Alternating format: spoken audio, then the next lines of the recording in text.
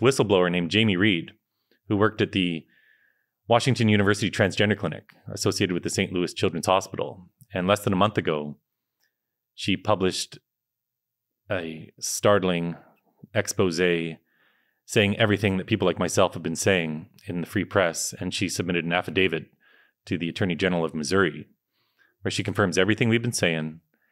All of these kids are struggling with some mental health comorbidity.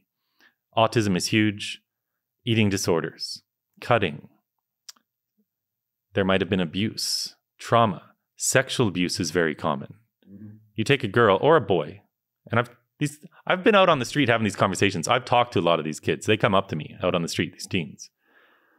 But a girl who's been sexually abused, she's not loving being a girl right now, is she? Because for her, this is the source of all of this trauma.